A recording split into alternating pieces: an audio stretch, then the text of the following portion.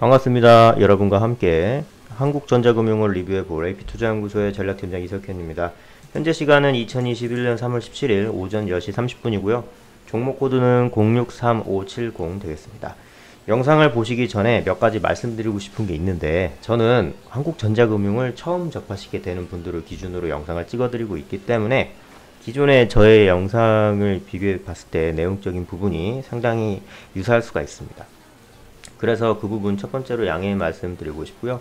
그리고 두 번째로는 기술적 분석 같은 경우에는 기술적인 상황에 변동이 있게 되면 이제 거기에 맞춰서 저희 판단도 바뀔 수 있기 때문에 그 부분 양해 말씀 올리면서 영상 시작해 보도록 하겠습니다.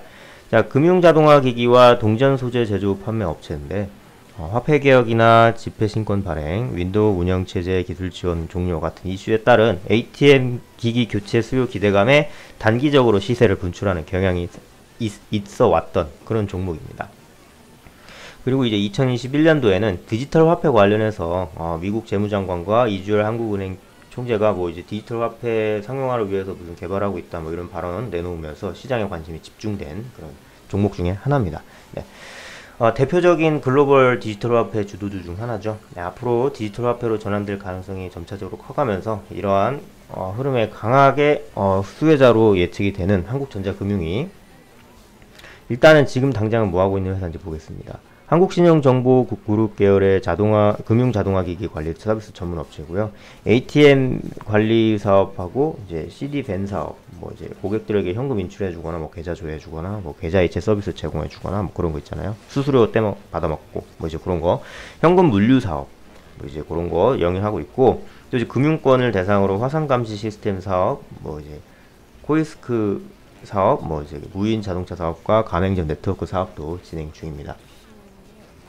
네, 한번 보겠습니다. 한국전자금융 배당 수익률 되고 있죠. 현금 흐름 되고 있다 정도로 파악하시면 될 것 같고 시가총액은 2267억, 발행 주식수는 3400만 주, 유동 주식수는 1800만 주 정도로 확인이 되고 있습니다. 자, 그리고 이제 보시면 어, 지금 당장은 약간 좀 이렇게 왔다 갔다 하는 별로 이제 큰 폭으로 차이가 없는 그런 모습 보여주고 있는데 매출이 앞으로 이제 어, 한국은행이 개발에 성공하고 그 기술 이전을 이제 한국전자금융이 좀 해주고 이렇게 민간 시장에 이렇게 하면 한국전자금융이 이제 거래를 하고 영유를 하는 업체에 대해서는 이제 요 디지털 화폐 관련해서 이제 매출이 상승하기 때문에 굉장히 큰 폭으로 상승할 어, 저기 실적 면이 좋아질 어, 상황이 놓이는 거죠. 그렇기 때문에 어, 시장에 관심을 받고 있는 것이고 거기에 비춰서 지금 이제 주봉으로 보시면 가격 조정 받고 기간 조정 받다가 위로 장대 크게 쏘아 올렸단 말이에요.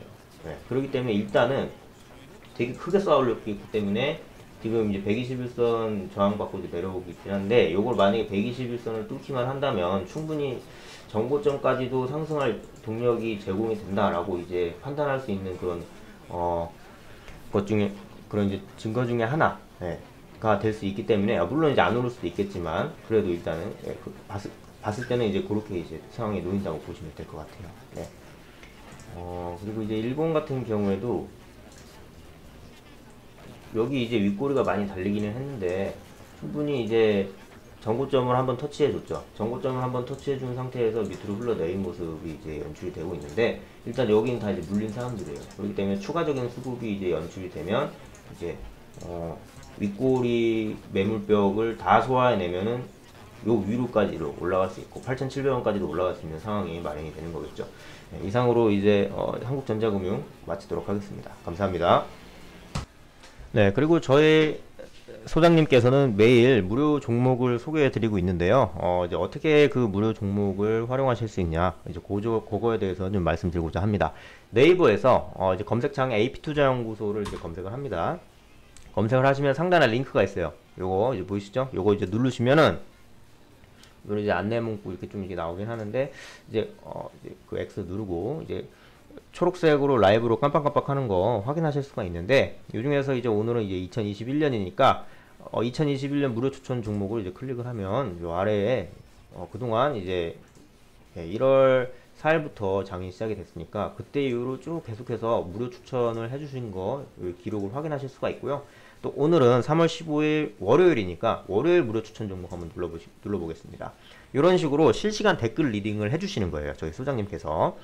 자, 07시 44분에 이미 이제 안내 문구 이제 말씀해 주셨고, 그것도 이제 무료 추천 종목을 보시기 전에 꼭 읽어봐야 할 어떤 그런 공지사항들, 그리고 좀 지켜야 될 것들, 뭐 이런 거에 대해서도 알려주시고, 전일 미국 증시, 뭐 이제 투자 활동에 도움이 될 수 있는 그런 이제 보조적인 자료도 제시해 주시고 계십니다. 자, 그리고 쭉 내려서 이제 9시가 딱 되면은 2021년 3월 15일 월요일 시장 개장했습니다. 라는 말씀과 함께 뭐 경남 스틸 뭐 현재가 2,600원 기준 매수라는 말씀과 함께 1차 목표가와 뭐 손절가까지 구체적으로 이제 제시를 해주는 모습 확인하실 수가 있는데 어 이런 식으로 예. 뭐 1차 목표 뭐 경남 뭐 9시 4분에 경남 스틸 뭐 1차 목표가 돌파 뭐 추가 상승 중입니다. 뭐 이런 식으로 이제 나와 있는 모습 확인하실 수가 있고 뭐 이런 식으로 전일 추천 매수가 2,600원 제시해 드렸고 추천 매수가 대비 11.9%뭐 상승했습니다.